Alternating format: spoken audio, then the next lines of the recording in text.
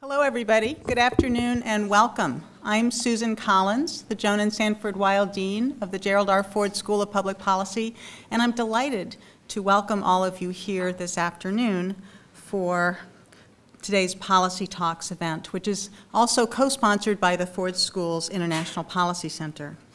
We're very honored today to be joined by Dr. Erica Chenoweth, who's traveled all the way from the University of Denver's Joseph Korbel School of Interna International Affairs. We're delighted to have you here with us today.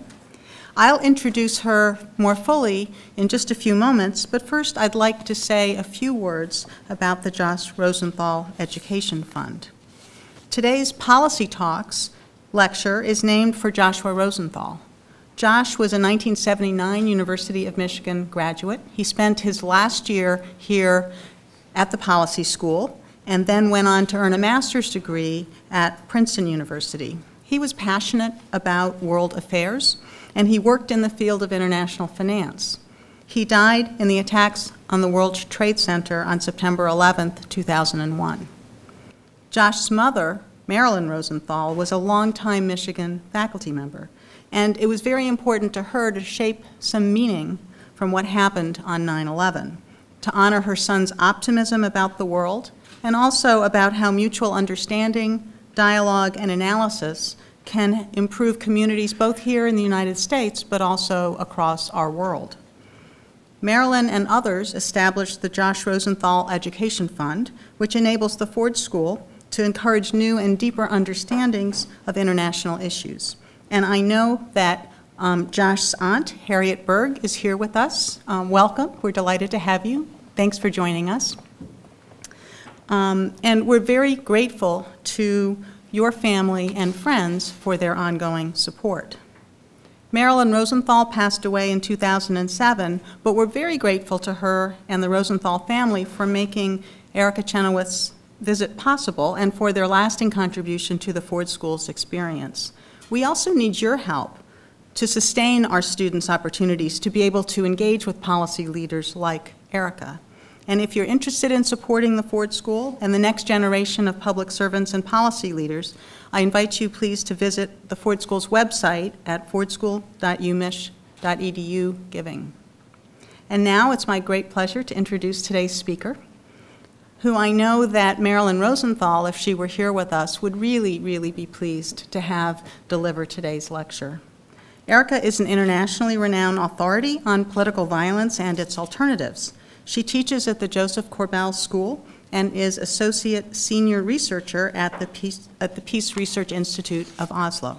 She's co-author with Maria J. Stephan of Why Civil Resistance Works, The Strategic Logic of Nonviolent Conflict. This landmark study won the Woodrow Wilson Foundation Award and the 2013 Grawemeyer Award for Ideas Improving World Order. Foreign Policy magazine ranked Erica among the top 100 global thinkers in 2013, and last year she was awarded the Karl Deutsch Award, which is given annually to the scholar under 40 who has made the most significant impact in international policy or peace research. And it's also a great pleasure for me to tell you that just this week and after the printing of our program, Erica was named a full professor and also the Joseph Korbel School's Associate Dean for Research. Congratulations.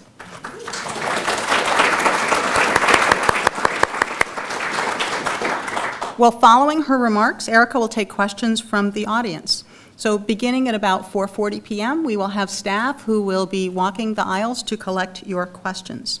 Ford School faculty member, Professor Susan Waltz, um, also a Joseph Korbel alum, uh, together with two Ford School students, uh, Brenda Duvers and Tanner Cooper, will facilitate the Q&A session um, after the remarks. And for those watching online, please send us your questions via Twitter using the hashtag PolicyTalks. And so, please join me in welcoming Erica Chenoweth. We're delighted to have you here today.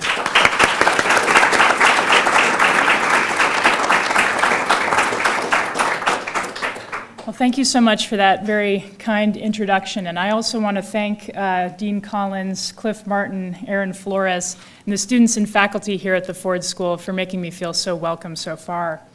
I also want to thank uh, Josh Rosenthal's family and friends uh, for setting up this memorial fund in his honor. I was able to read a little bit about uh, his life and his family's life today and um, came across a story about his mother's search for meaning in his death in 9 11 um, in a beautiful Washington Post article that was published on September 11, 2006, on the mothers um, of the people who died. And I was struck so much by a comment she made in that article where she said that for her, the search for meaning was about the search for knowledge because she felt that knowledge was agency and knowledge was power. I can identify with that, and uh, so I thank you for um, having the honor of delivering this lecture today. Um, I want to talk to you a little bit about where I was when I first came to the topic of civil resistance, um, because I wasn't somebody that came to the topic easily, willingly, or with a very open mind. So it was 2006. I was a PhD student finishing up my dissertation uh, at the University of Colorado. And my dissertation was all about why uh, political violence happens so much in democratic contexts. I was really bothered with questions about political violence in general, how to stop it, why it happens, um, and how to reduce it whenever possible. Um, I was not at all familiar with any work on nonviolent alternatives to political violence, and it had never struck me that one could potentially think about nonviolent action as a functional alternative to violence. But uh, what happened is one of my colleagues forwarded me an email invitation to a workshop called People, Power, and Pedagogy that was happening down the road at Colorado College. Now, this was an educational project that was being funded by the International Center on Nonviolent Conflict. They're a foundation in DC whose main object is to spread and support the development of knowledge about nonviolent conflict. And uh, because I was a graduate student and they were offering free books and free food, I applied uh, and uh, got in, and they sent me the box of books in advance to read. And these were books by people like Gene Sharp, Peter Ackerman, Jack Duvall, Stephen Zunes, and a variety of others who were making what I found to be a really bothersome claim that nonviolent resistance, where ordinary civilians use coordinated tactics like strikes, boycotts, protests, stayaways, go slows, and a variety of others, they can actively confront even very repressive opponents and create radical social change. I thought that this was a very naive view. And I also felt unconvinced by the types of evidence that were being used to support that claim. So when I went to the workshop, I came with three major reservations, which I'm going to refer to as common claims because I hear them repeated all the time. The first one is that I thought nonviolent resistance, I mean, these are unarmed civilians, right, who are trying to collectively organize in ways that disrupt the status quo power in their countries. Nonviolent resistance could not be effective when the opponent was very powerful, uh, when the opponent was very repressive or willing to use mass repression, uh, or when the opponent was authoritarian in nature, meaning that there was no real political space for effective organizing. The second set of reservations I had was that nonviolent resistance might be all fine and good if you are pursuing what I might call reform goals, which is to say, reform goals, which is to say, I'm sorry. Yeah, sure. Sorry. Test, test. Sorry. It's okay. My apologies.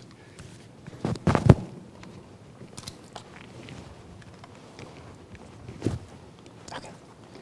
Reform goals, which is to say goals um, that, that are like labor rights or gender rights or um, political reforms that would be short of you know, the removal of a dictator, for example, or the removal of a foreign military occupation or colonial power from one's lands, um, and goals like this that I would usually associate more with violent insurgency.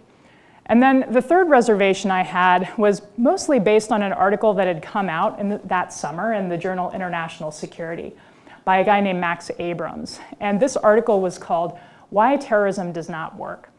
And in it, Max um, collects data on a whole bunch of different um, active terrorist groups around the world, or so defined by the US State Department. And he looks at how many of them had actually achieved their stated goals and found that it was just 7%. So a pretty ineffective method if you look at it relative to other types of military coercion that are usually around 30% or so. And so I was coming to this workshop thinking, okay, so at 7% effectiveness, terrorism is judged to be ineffective. And on the last page of his article, Max says, so if it's just 7% effective, then why does it happen so much? And he speculates that maybe it's because even at such a low rate of effectiveness, it's still more effective than nonviolent protest. So I was coming to this workshop with a very low bar of expectations about the effectiveness of nonviolent resistance, and yet I was coming up against all kinds of material saying that it could be a powerful technique for social change. So um, I got into some arguments at the workshop, and I wasn't a very popular participant, I must confess. But uh, toward the end, I met this woman named Maria Stephan, who was randomly kind of paired with me as a roommate in the dorms. And she and I were staying up late in the night having these very antagonistic conversations about it. And, and ultimately, we decided to honestly kind of make an intellectual bet where we we, we decided to do a study that would provide some nominal data um, to find out whether nonviolent resistance was actually um, having the success rates in history that um, its optimists were claiming it to have. So, um, you know, she asked what kind of research design would be convincing for the average political scientist. And I pulled out like a napkin and drew out what I thought was the beginnings of a research design. And what it would have to do was instead of cherry picking our favorite cases where we looked at successful nonviolent resistance, what we would need to do is do a really wide ranging search of campaigns of nonviolent civil resistance worldwide from a longer period of history. So we went back to 1900, and then we were, um, there, our time period cut off in 2006. So 106 years of data worldwide. And we were going to have to look at all of the existing data sets on things like protests, strikes, and other things to try to develop um, the list of campaigns. So not just one-off protests, but, uh, but continuous coordinated campaigns of nonviolent action. We also uh, were looking at case studies and histories written by other people about this subject. And good timing, there was a, a bibliography that came out uh, in the summer of 2006 by a bunch of specialists on this topic named April Carter, Howard Clark, um, and, and Michael Randle, where what they did was they collected an annotative bibliography of everything that had ever been written about nonviolent resistance. And, and then they provided all the source material. So we went to those materials and started basically collecting a list, uh, what you might call a consensus list, of all known nonviolent campaigns um, from 1900 to 2006 that featured at least 1,000 observed participants and that were maximalist in their claims, meaning the removal of a dictator, um, the uh, removal of a foreign military occupation uh, or colonial power, or secession. So why did we go after those? Because I was a skeptic and I thought that probably nonviolent resistance wouldn't succeed in those cases.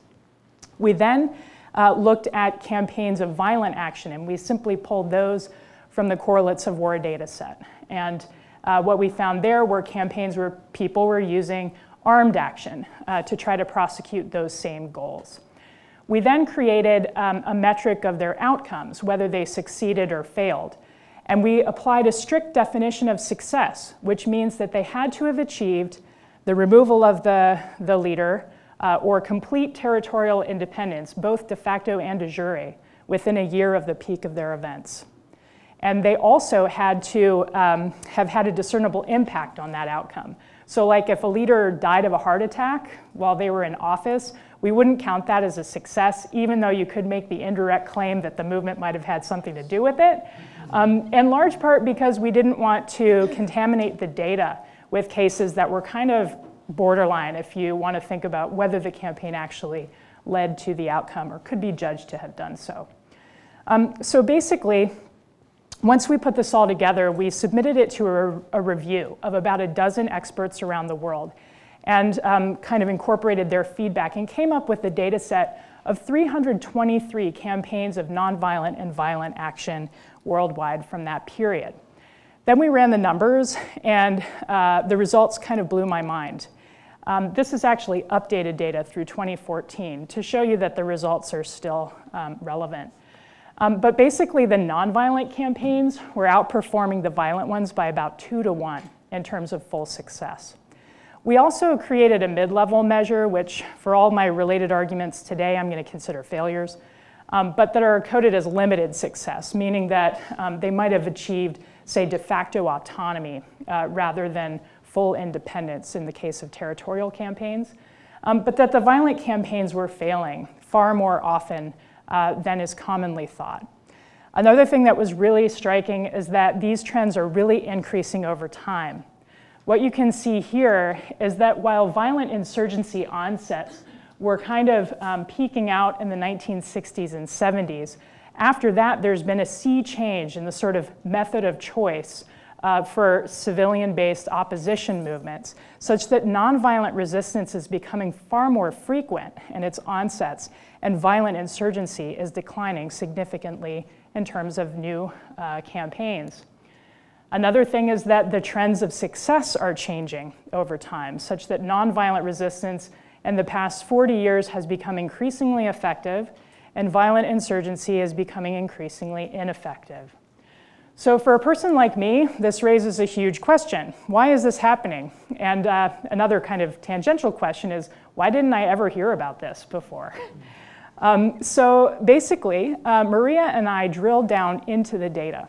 And um, the thing that really struck out is the fact that, um, that basically nonviolent campaigns often feature such large and diverse mobilization potential that they are able to activate a number of different points of political power that are not often available to the average violent insurgency. So the large and diverse nature of nonviolent campaigns um, allows them to disrupt the status quo and start to change and transform power. Now, the idea that uh, the more people that participate in an uprising, the more likely the uprising is to succeed, is not something unique to Maria's and my study. Um, there's a colleague of uh, several of us here named Mark Lichbach, who in his book, The Rebel's Dilemma, had speculated something he calls the 5% rule, which is to say that no government can withstand um, a challenge with just 5% of its population. Um, that level of mobilization in any society is going to prove very difficult for a government to, um, to manage. And um, you know, many other people have basically pointed out that numbers matter, Joe DeNardo and, and many others. Um, but what Maria and I found is that the average nonviolent campaign tends to field something like 11 times more people as a proportion of the overall population than the average violent campaign. And actually, the only campaigns in our data set that surpassed Mark Lichbach's 5% rule were nonviolent ones in terms of people actively participating at the peak of the campaign. Um, the reason why we think that nonviolent campaigns are more um, large and diverse is basically because there are a number of lower barriers to participation in them. The first lower barrier to participation is simply a lower physical barrier, which is to say that many of the tactics available to people participating in nonviolent campaigns are easy to do and don't require any prior physical training, prowess, or agility. Um, for example, um, I used to uh, take military science classes because I thought in college that I might finance my education through ROTC. Um, and so, you know, I enrolled in the classes and then I was going to go and, and participate in the physical training. Well, you know, I soon found out that meant I had to get up at 4.30 in the morning and run for like 10 miles. I didn't want to do it, so I quit it, right? um, and, and, and this is a very trivial, kind of stupid example, but the reality is that organized armed activity requires people who are physically able and physically willing to prepare themselves and dispose themselves in situations that are physically challenging. Um, for nonviolent campaigns, there are many alternative options that make participation available to a much wider range of the population, including those with physical disabilities, um, but also the elderly population, youth, and so forth. For example, one extremely powerful technique of nonviolent action is for everybody to stay home and sit on their couch for three days. Now, if everybody in a major city sits at home for three days when they ordinarily would not do that, this is going to shut down that city's economy and it's going to create change. Anybody can do it. In fact, some people might like to do that um, and take a little break. So these types of um, physical, lower physical barriers allow people like this to engage in methods of nonviolent action that aren't otherwise available to oppositional movements. There's also a lower commitment barrier. And by this, I don't mean commitment to the cause, but I mean barriers to entry and barriers to exit. So for armed action, um, it's very difficult to, um, to know how to get into the group unless you know somebody who's actively engaged. And then once you're in the group, it's hard to get out, especially if you've committed um, what's equivalent to murder in your society. Once people have joined armed groups, the armed group becomes their protection. It's hard to get out. So it's going to be a major life choice. You're not going to have a ton of casual participants in these types of movements. For nonviolent campaigns, there's plenty of room for casual participants. And um, in fact, most people who participate in these campaigns don't have to leave behind their entire lives and their families and their friends in order to do so, although that's sometimes the case for upper echelon leadership or so forth. There are also lower informational barriers, and by this I mean that all oppositional campaigns have something of a communication problem. They all want everybody to think they're huge. Violent insurgencies want people to think they're huge by launching armed actions and allowing them to create demonstration effects that attract more people to the fray. Nonviolent campaigns have less of a problem of clandestine attraction because many of the techniques of nonviolent action are deliberately visible so that people think that they're huge. So just take this as an example. Imagine that you are in your apartment, you live in a really repressive country, and uh, your neighbor comes to you and you're close friends, and your neighbor says to you, Tonight we're going to have a demonstration down the street at 8 o'clock. And I know that we have talked a little bit about how you feel about the current regime and so forth, and so I hope that you're there. Just know that there will probably be police, but here's a little map with an escape route, and hope to see you there tonight. Now, if you're like me, you're not going to be the person who shows up at 7.55 right and is sort of like i'm here where's everybody else um, i'm probably going to be the person who looks out my window at 8.30 8.45 and sees what's going on and if i see six people down there in the square, I'm going to sit this one out. That's just me. But if I see 6,000 people and more coming down the way, that looks like a big party, and I'm probably going to go. And I'll probably stay in the middle uh, because that's where you don't get hurt. the more people there are, the bigger the middle is, right? Um, so what happens is that the more people who join, um, in my mind, I can do the probability calculation of how likely it is that I'm going to be hurt. And this kind of creates this kind of critical mass dynamic that you often see punctuating the end of these nonviolent uprisings. The last lower barrier to participation is a lower cognitive barrier, which is just to say, the participants in nonviolent action do not have to override the many cognitive um, inhibitors there are to offensive violence in the typical human brain.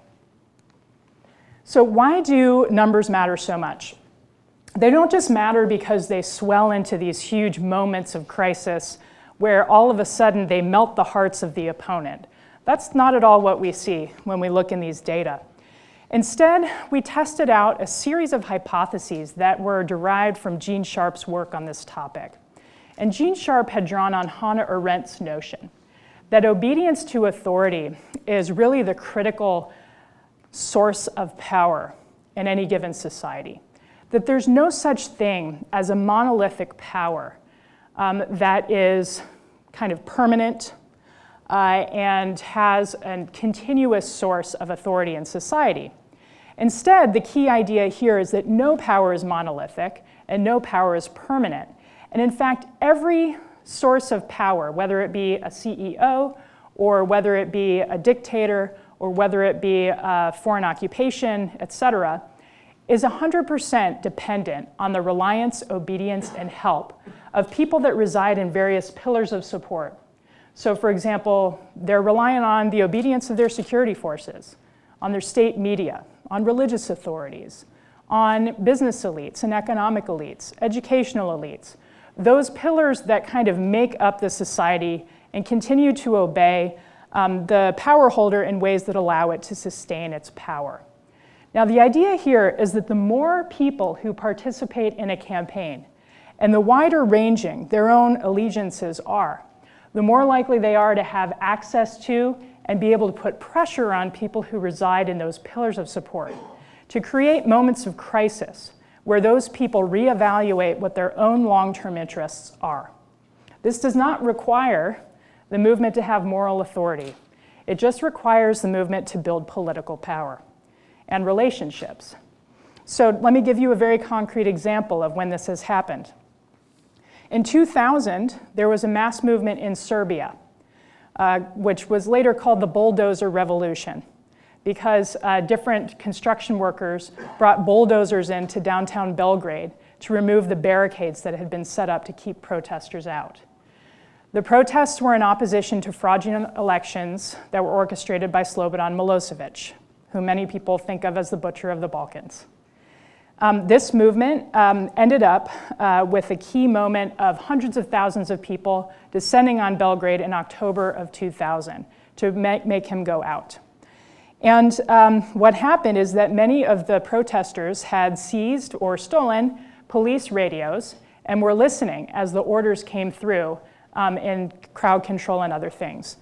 Um, basically, they heard the order come over as the key moment came as the protesters approached the parliament um, for the police and the internal security forces to shoot live fire into the protesters.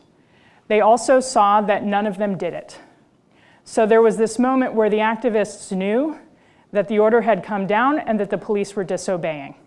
And that's when they knew that the game was over. Now, in later days, journalists, activists, and researchers interviewed some of these police and asked them, why did you disobey the order? Uh, and they said, I saw my kid in the crowd, or I saw my neighbor's kid in the crowd, or I saw the guy who sells me liquor on Saturdays in the crowd. And what happened is because of the sheer size of the campaign, it became so that the people who were in these pillars of support knew that their own lives would be shaped by the decision they made in that moment. And they decided, all of them at the same time, that they didn't want to be the people who were cast aside in the society that they saw inevitably coming to pass. So there were key defections in these moments, um, and those defections made all the difference in the world. Sometimes it's not possible um, to have security forces defect. South Africa is an example where the security forces, for whatever reason, were never going to defect, but economic and business elites did. And so the key is to find the pillars of support that are the most influential and through which the power sustains itself. And all of them can be vulnerable to change. We tested this hypothesis and indeed found that as nonviolent campaigns get larger, they are far more likely to bring about defections or disobedience in security forces. Whereas as violent campaigns get larger, it doesn't make as much of an impact. Now, sometimes, of course, security forces do shoot into the crowds. Um, and even in those cases, we still find the nonviolent campaigns having a two to one advantage. The question is why? We think there are two reasons. The first is that um, we find a generalized pattern that uh, repression against people who are unarmed generally is more likely to produce backfire, which is simply the dynamic where uh, people are so outraged by the violence against unarmed people that they actually swell in numbers and actually try to protest precisely because of the repression that takes place. Um, but the second reason, which I think might be even more powerful, is that because of their size, there's a very wide array of methods available to nonviolent movements that allow them to maneuver around repression in key moments. There are generally two groups of methods that we talk about, or at least that I talk about. One is methods of concentration. That's when you have um, the demonstration or the protest in a particular place. It's very disruptive, um, it assembles mass. Um, it's useful to draw attention and draw journalists, and you get the pictures in the papers.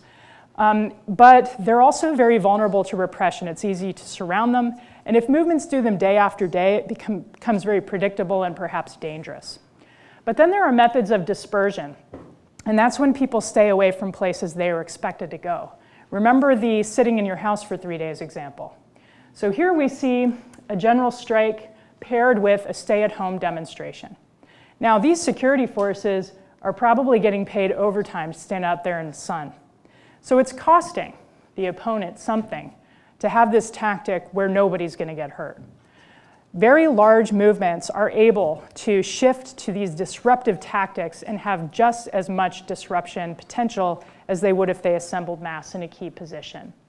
In fact, one of the best examples of this switch in sequence is from the Iranian Revolution, the one from 77 to 79. The last 100 days of it, called the 100 Days of Revolution, featured about 90 days of street protests, demonstrations, and rallies. Thousands of people were killed in those demonstrations in that first 90 days. And in the last 10 days, the oil workers decided to go on strike. They stayed at home. And the internal security forces went door to door, dragged them back out into the streets, marched them to the oil fields, and when they got there, they worked at half pace. The second day, the same thing happened. Oil workers stay home, security forces go door to door, march the people back to the oil fields, they work at half pace. After day three or four of this, security forces start calling in sick. The reason is because it's a very personal kind of violence, and they also make the calculation, which was erroneous, but they didn't know, that they were not going to get their overtime because the oil fields were pumping at half pace. Within a few more days, the Shah fled the country and the regime collapsed. So as I wrap up, I just want to point out a couple of different um, longer term impacts. So I've talked about very discrete moments where, say, a leader flees or a country achieves independence. But we know that not everything is great in every country after these things happen. Iran itself is perhaps a cautionary tale. Um, so Maria and I were very interested in what happens in these countries after success. Um, and what we find is that actually um, a couple of things. First of all, far fewer people have died in the course of the campaign, even if it fails. The second thing is that it's far more likely that the country emerges as a, a democracy, as coded by the polity data set, within five years, uh, compared with violent insurgencies.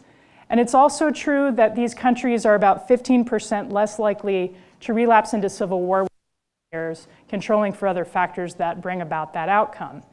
And so we're finding that not only are nonviolent resistance campaigns more effective in the short term, but they bring forth uh, different longer term impacts that make these societies more peaceful and more politically open places to live. So, what I would uh, argue is that for people like me, um, these were very difficult findings to uncover because they fly in the face of many of the types of conventional wisdoms um, that I had been raised with and that I'd been learned to think about in my field. And so it really points to um, understanding and unpacking the nature of power. I thought power flowed from the barrel of a gun, but it may flow from consent and obedience. And that places a very different emphasis on the types of subjects we study. Um, it also places a different uh, emphasis on the role of civilians in conflict. Many people have always, uh, in my field, studied civilians as either just victims um, that suffer at the whims of the governments that rule over them, uh, or as resources to loot in the context of a civil war. But few people think of them as active agents, making decisions that can drive processes that alter their lives in ways that they actually have some control over. And so it really kind of brings back into my mind a real difficult tension between structure and agency. To what effect are institutions and situations forcing people to use violence, for example? Um, or are there realistic alternatives to violence? And I believe that this uh, research suggests that there are. Um, for policy uh, implications, I think there are also some key questions. The first question, of course, is whom to support. This one is still open for debate in the United States, as our government right now considers revamping its uh, support to Syrian rebels. Now, um, certainly it's the case, as we know from prior research, that supporting rebel movements often uh, gives them a strategic advantage in their conflicts. Um, and we know from our data that when violent rebels receive support from outside states, they're about 15% more likely to succeed. Um, however, we also know that when they win, um, they are much less likely to um, create democratic governments. Uh, they are much more likely to commit various human rights abuses both during the struggle and after. Um, and countries in which rebel groups have been victorious are much more vulnerable to relapse into civil war, as the people who they depose fight a life and death struggle um, against them, and many of these countries end up uh, falling into the conflict trap in ways that are very difficult uh, for them to get out of. And so, you know, if it's true that the United States government stands for democracy, stability, and human rights, then providing guns and, and uh, money to armed movements is not the best way to spread those things, according to our data. Um, that said, uh, it's not the case that providing direct support to nonviolent movements helps them either.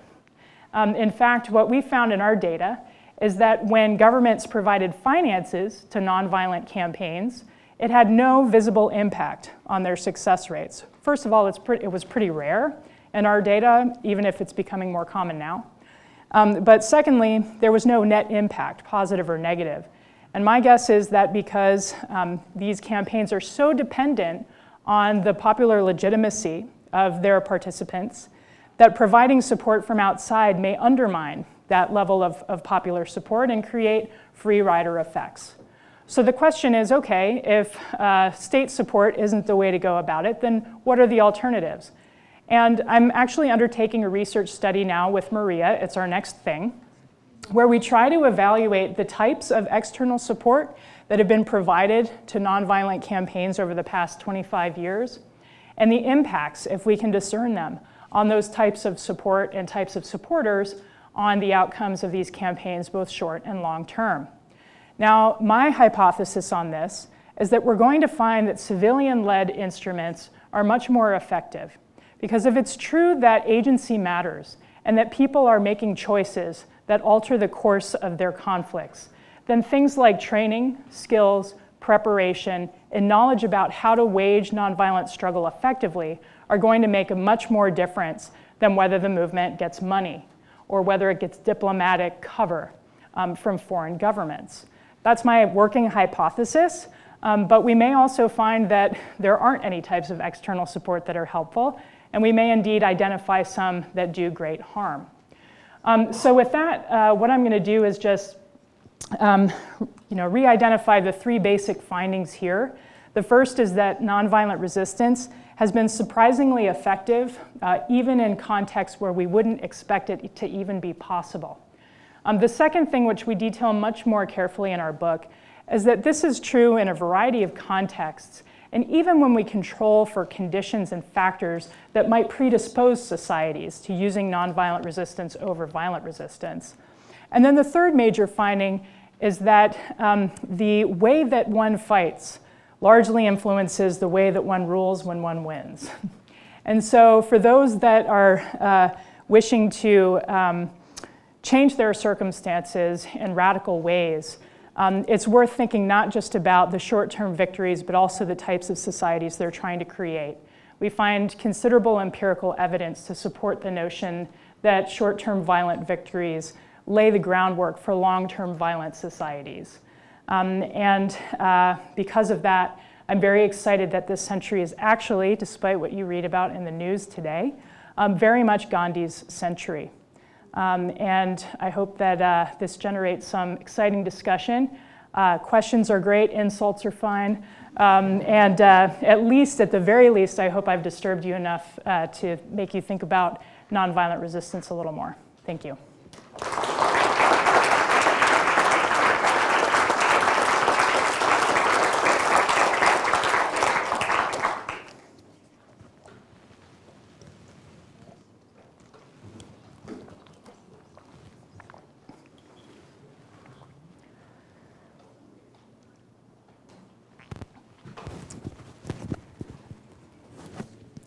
Use this one and I can use the podium? Sure. Thank you. Does it work? All right, do you want to just- Sure. Hello, can everyone hear me? Yeah. All right, great. Um, Thank you again, Dr. Chenoweth, for agreeing to speak to us here at the Ford School. Um, My name is Brenda Duvers, and I'm a second-year Master of Public Policy student here. Um, And the first question we have for you today is, Besides the number of participants, did you discover any other key ingredient to a successful nonviolent movement? It's a great question. And um, we did several qualitative case studies, and I'm continuing this work.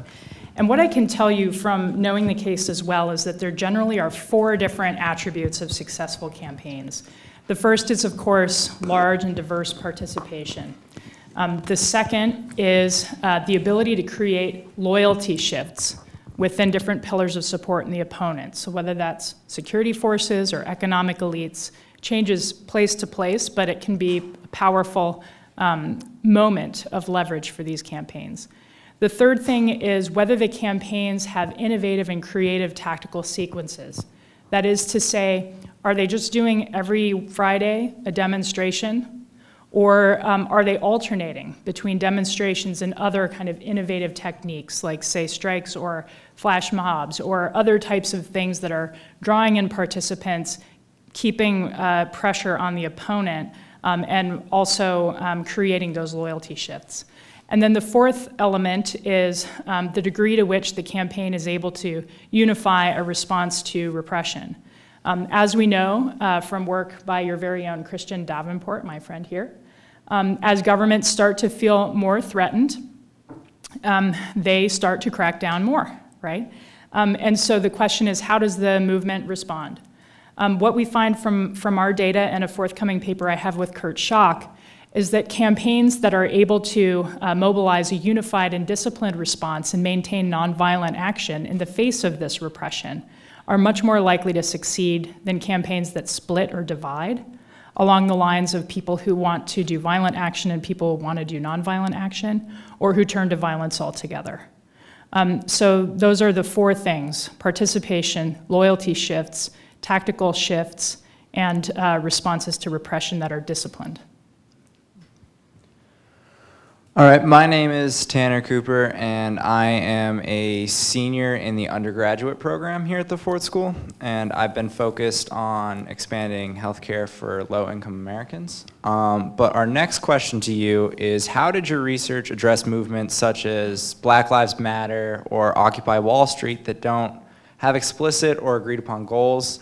And was there like a measure of success in shifting the conversation, or how did your research go about that? Yeah. So we explicitly collected data on maximalist goals. Um, my understanding at the time was that those would be more difficult to achieve. I've since thought more cleanly about that, and I think actually it might be the opposite um, that it might be more difficult to achieve some reform goals in highly pluralistic societies. Um, and so Occupy Wall Street, and uh, really more Occupy Wall Street is an example of how that can be a real challenge. I think Black Lives Matter actually has a very clear um, set of, of goals. Um, I think that uh, despite the fact that they don't enter into our data set because of the nature of these campaigns, that the four attributes I just described of successful maximalist campaigns apply just as well to basically any type of reform campaign. So the larger and more diverse the participation, um, the ability to respond to increasing brutality with discipline, um, the ability to create changes within um, the political elites, the economic elites, um, and with potential third party supporters, and the ability to create incredibly creative and innovative tactics that keep the opponent off balance are all things that would make for a successful movement here as in anywhere else. And I actually think that Black Lives Matter, as far as I can tell, is performing very well on all of those points.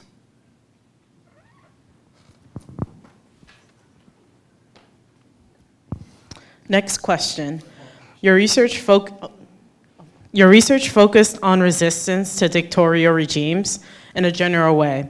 Do you have any evidence that nonviolence resistance works in the face of active genocide or full scale attacks?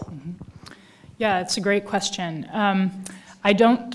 Uh, I don't have any uh, clear evidence on those cases uh, specifically, although I know many people who have now undertaken studies to find out exactly what's possible um, in the context of genocide or mass killings of that scale.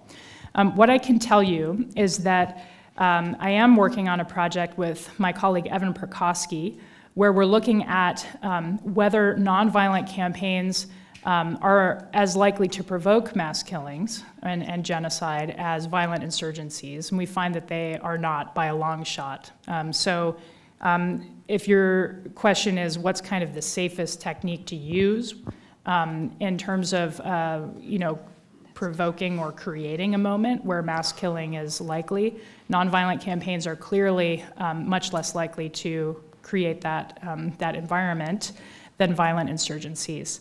Um, in terms of nonviolent campaigns that have occurred in the context of mass killing and genocide, um, there are cases. Uh, there are some famous cases out of Germany, the Rosenstrasse protests um, by women who were married to Jewish men, um, German women who were married to Jewish men who successfully protested for their return from concentration camps in front of the SS office in, in the Rosenstrasse in Berlin.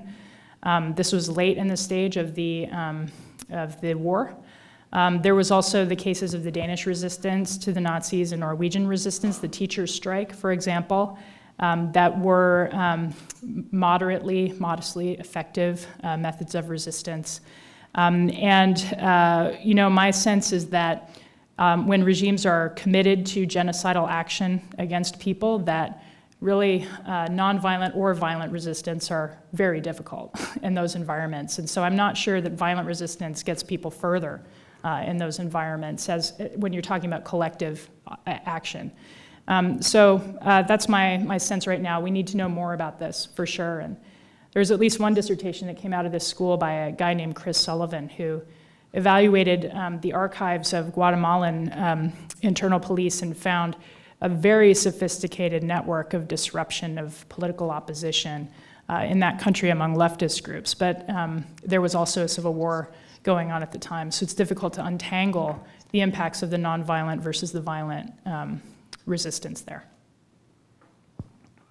All right, our next question is How can U.S. foreign policy help to promote nonviolent um, movements over violent rebellions in, repre in repressive states?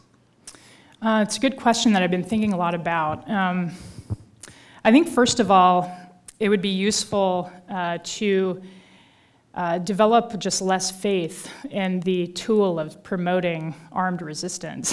um, like, first things first, let's come to terms with the fact that this hasn't worked out very well in US foreign policy. Um, and uh, I think that's necessary before even the idea comes um, that there are other alternatives that, that can uh, make sense.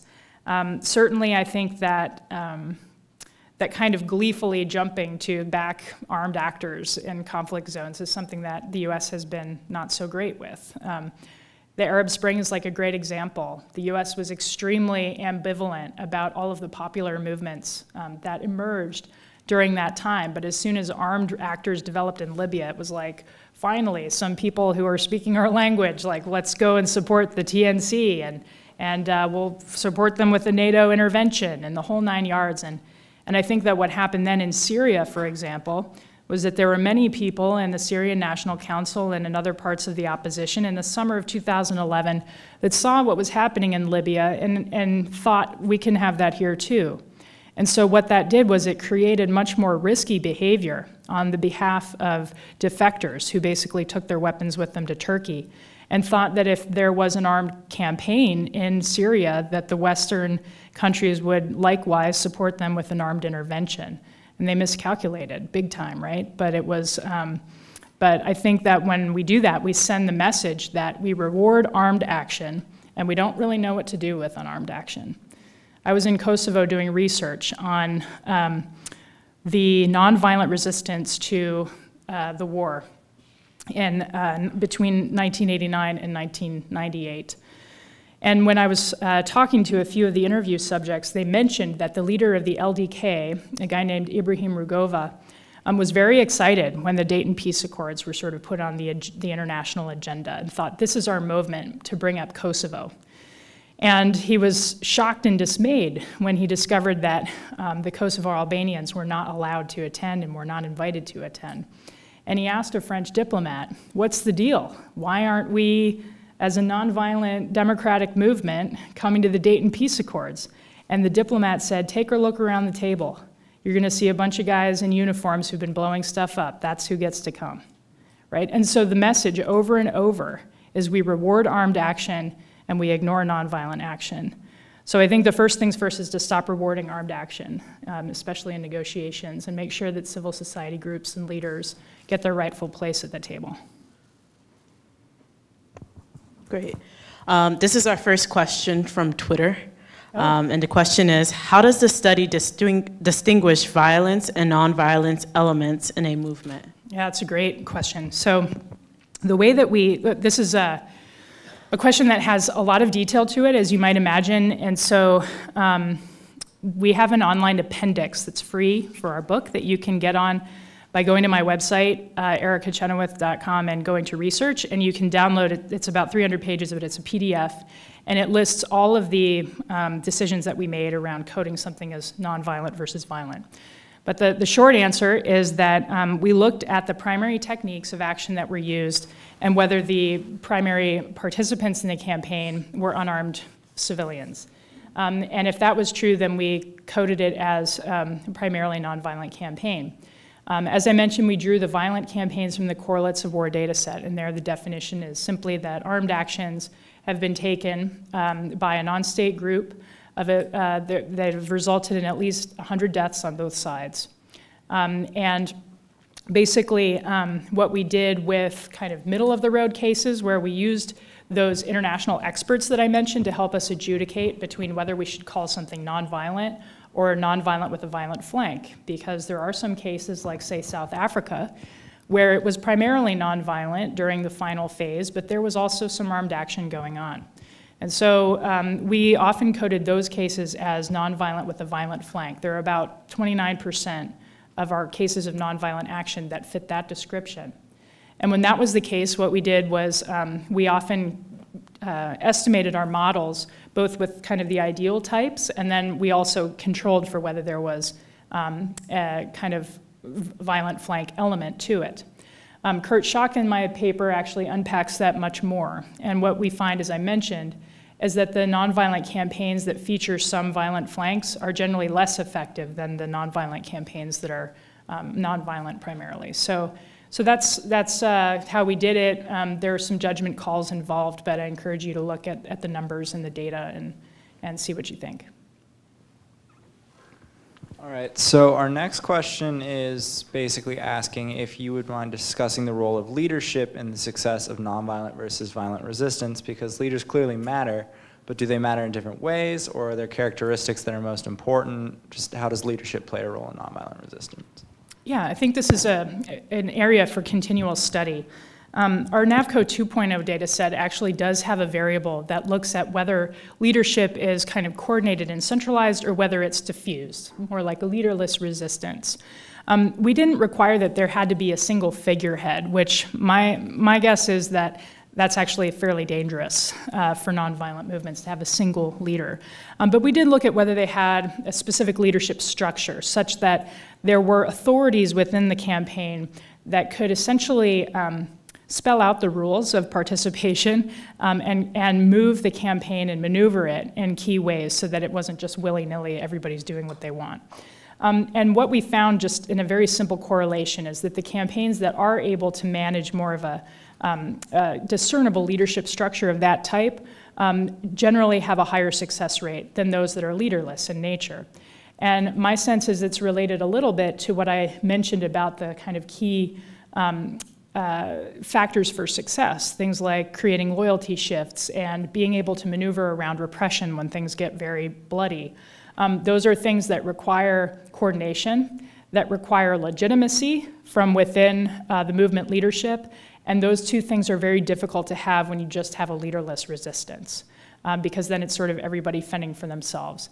Um, but like I said, this requires much more inquiry. Um, there's a lot of work in sociology on leadership and movements, and um, I think what I just mentioned accords somewhat with what the general uh, conventional wisdom is now there, but, um, but there's obviously remaining controversies.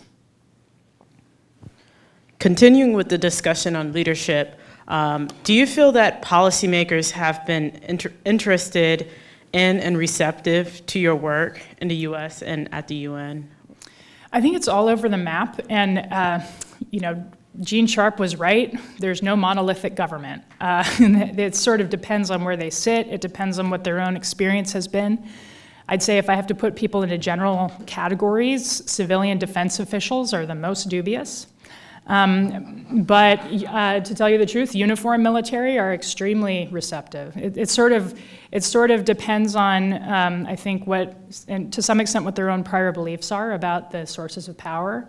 Um, and uh, yeah, I think that, that that has made a difference. Um, I think actually though the the largest kind of real world impact that we've had relates much more to um, people that are involved in struggles. They're the ones I hear from the most um, and who um, wish to talk about or learn more about what our findings really say for their contexts. Um, that creates a lot of really interesting um, kind of ethical um, dilemmas and implications that is another kind of unexpected result of this research. I've gotten to really look carefully about the meaning of research for real world implications, the limits of research for real world implications, um, the ways that people sort of interpret things or misinterpret things, um, and what my own responsibility is in spelling out uh, what this work might mean for people. Um, so, you know, it's really, it's been kind of an interesting ride with looking at the real world implications and applications of this work. And, you know, my hope is that, um,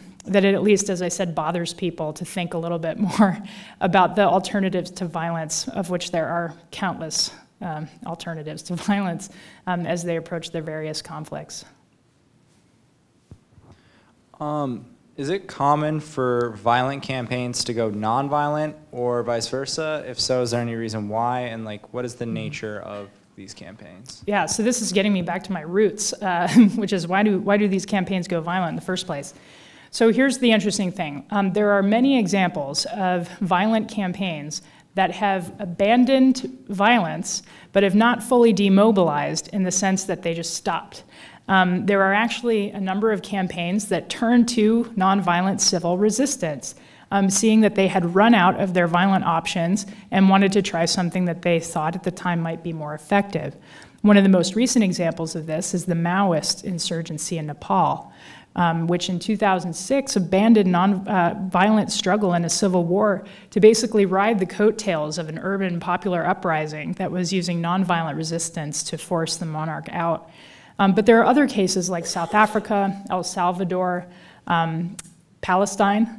Uh, during the first Intifada, and many other cases where, um, where primarily violent resistance has been supplanted by civil resistance, and often to great effect. East Timor is another very good example. Um, on the reverse, the question of whether nonviolent campaigns turn to violence, well, certainly most violent campaigns will tell you they started nonviolently. um, many of them will say, well, we tried nonviolent action and it didn't work, so we went to violence. Now, in looking at the cases of violent action in our data set, only 2% of them, 2%, um, used civil resistance, as we define it, for more than nine months before they turn to violence.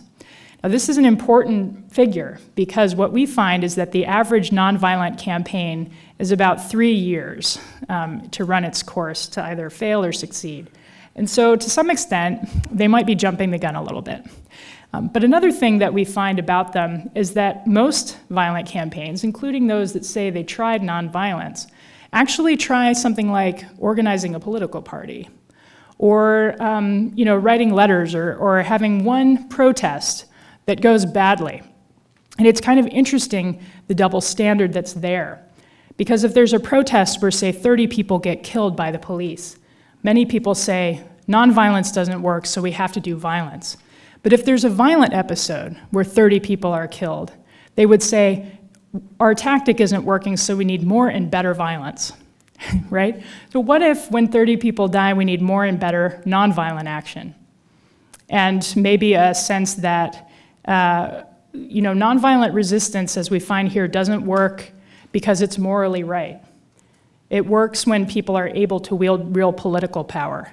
And so I think that, you know, the sense that the moral dimension of nonviolence is what distinguishes it from violence has actually made people falsely believe that it could achieve things that it can't in very short terms. Um, and so the more we can do to debunk this and to disseminate knowledge that this is about politics and not about right and wrong per se, I think the easier it will be for people to understand um, that the one off protest where 30 people died doesn't mean the end of the potential of nonviolent resistance in that case. Great. Um, continuing off the discussion of violence, um, the question we have is how would nonviolence work with ISIS and what practical lessons from your research could be applied to combat? Yeah, so um, I don't know how nonviolent resistance works against ISIS right now, um, in part because ISIS is a very amorphous, kind of shadowy um, presence right now in, in much of the places where it's governing. But I can tell you that the more that ISIS starts to look like IS, the more it starts to look like that, right? And so when it starts to look like that, there are more opportunities um, for there to be sustained nonviolent resistance uh, against the structures that it develops to rule. ISIS doesn't just want to win combat victories, it wants to rule. And so that creates longer term opportunities for thinking about it like that. Um, in the meantime, uh, we can think about ISIS as having kind of four basic categories of participants. There are the true believers, uh, there are uh, the psychopaths, to be frank. Uh, there are opportunists, uh, who are people who are flocking to the scene because they see their own short term material interests as being benefited by that. And then I would argue now there's a fourth category of what you might call coerced people. And this is people who live in villages in Iraq or in Syria who, when ISIS conquers the village, they come to all the men in the village and assemble them in line and say, to the first one, Are you with us or against us? And he says, I'm against you. And they kill him. And they go to the next person and say, Are you with us or against us? And he says, I'm with you.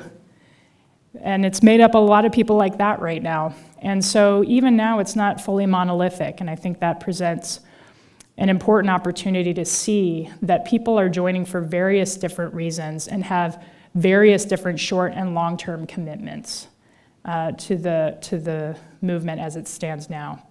Um, so I don't have a very good answer. I, I, suspect that if I did, I'd be much busier than I am now.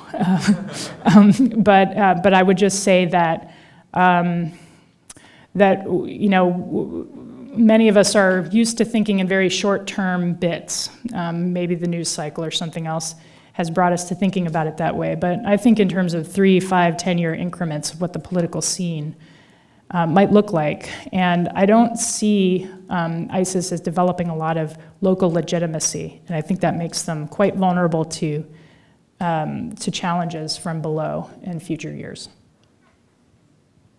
All right, so our next question is how does your research translate to a more local level? We're talking unions, factory workers, community activists. How does it translate to the local level? Yeah, so um, again, I think that the sort of four features of success apply no matter what the scale is, really. Um, there was a student that um, came to a workshop that I was participating in who was a student at Swarthmore University. And you know, he thought, okay, so what we'll do is get 30% of the student body to sit in at the Board of Trustees meeting and force them to divest from fossil fuels. And um, they had like a whole long conflict. And my understanding is that it, it turned out pretty well for them. so, you know, the sense is like you, you know, you, um, any, any campaign that mobilizes a sustained number of people um, over a particular threshold uh, say 3.5% or so, is probably going to make a pretty big impact on whatever their, their environment, even if it's on the very local level. Um, so, so I think that that's something that trans, translates no matter what. Um, this question focuses on North Korea um, and oh. countries similar to North Korea. Um, how does nonviolence begin in countries with oppressive, oppressive regimes um, and, and the control of information is so great that a civil resistance movement cannot effectively start organically? Yeah, it's a great question. Um, so I've become increasingly dubious that countries that look from the outside like they have total information control really do. Um, just because there's so many incidents, like even East Germany. I mean, people sort of look back on East Germany now, knowing what we know now, and they're like, oh, they didn't have a lot of information control. They were totally vulnerable the whole time. It was just a matter of time till they collapsed totally. But I think in the mid 80s and the, and the late 70s, I mean, people thought about East Germany as like kind of similar to how they think about North Korea now, you know? And so it's, you know, we have hindsight bias uh, with a lot of the cases where nonviolent resistance succeeds. And because it succeeds, we rewrite the way we thought about it before as if it was like an easy place for nonviolent resistance to emerge. And so I think, you know, I don't know what's going to happen in North Korea, but generally, um, what we see uh, in many countries is, is processes and practices what James Scott, the anthropologist, calls everyday forms of resistance, which is things like foot dragging or the refusal to obey and kind of typical social conventions.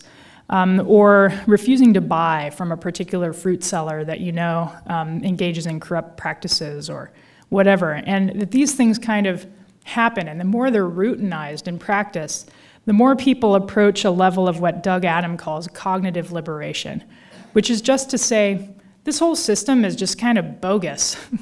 and now that I've realized this, and I can see that some of my fellows also realize this, I can't unrealize that, you know, and so, and then and that makes the moment inevitable where people will rise up and challenge um, what they think now to be uh, a totally fabricated system. And one of the best books um, on that process of cognitive liberation is one by Doug McAdam um, called um, Political Process and the Development of Black Insurgency about the civil rights movement. And another one um, he wrote called Freedom Summer, which is about the process of just minds being opened and changed and then never being able to put the, the genie back in the bottle, right, when it comes to understanding what's available to people and their own agency in, in achieving it.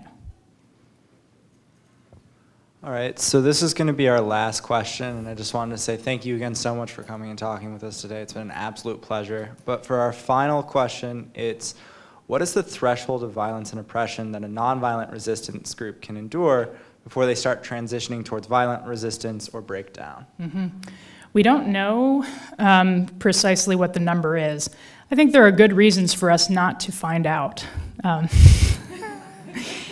Um, I'm not up for like noble lies or anything, but, um, but there are reasons why there are certain types of questions that, um, that one wouldn't necessarily want to, to um, inquire about and publish about, right? But, but my sense is that um, uh, the Iranian Revolution was pretty bad. I mean, there were thousands of people killed in the streets at a pace that was much uh, more intense even than what was happening in Syria in the first nine months, if you can imagine. Um, I think that, you know, cases like Syria approach kind of the threshold level. Um, I'm not sure if it was inevitable that that campaign turned to violence, but um, the nonviolent um, moment in that campaign's life cycle endured quite a lot um, before the campaign sort of basically fell apart and was undermined by regional um, geopolitics and so forth. Um, so I think I think that uh, you know, a lot matters on who's who's part of the conflict. Like, if, is it an internationalized conflict? Who's backing the regime? Um, and also, you know, who's backing the movement? Um, has it become so that it's a proxy fight between different international players? If so, the people on the ground um, are going to be subject to a lot more uh, things outside their control, I think, than, than if it remains kind of localized um, in a national struggle. So, um, so I don't know. I mean, East Timor, about 50% of that country was killed in the course of the Civil War, which is wild to think about. Um, yet they were able to effectively mobilize a nonviolent campaign in the face of continual violence by the Indonesian occupation. Um, so I don't know. I mean, I, I, think sometimes there are situations where it's unimaginable, and then there's a case that pops out where it was fine, uh, not fine, but where they won, right, in the end.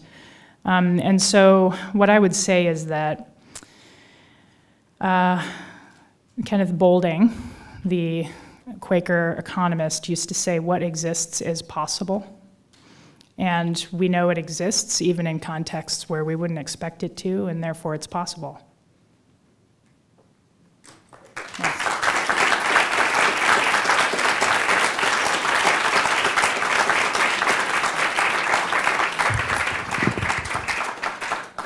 I just, I wanted to give a special thanks to Erica um, for a very appropriate and important conversation for our 2015 Rosenthal Lecture. I'd also like to thank all of you for all of your questions and for joining us today. Um, I hope you'll stay and continue the conversation. We do have a reception just outside in our great hall, and I hope that you'll come back and join us for future Policy Talks events. Actually, our next one is on Friday. We have Ambassador Thomas Miller, who uh, will be our speaker, and his topic is on the nexus of diplomacy and development. But if you go to our website, we have a full calendar, and I encourage you to do so. And so please join me in a final round of thank you to our speaker.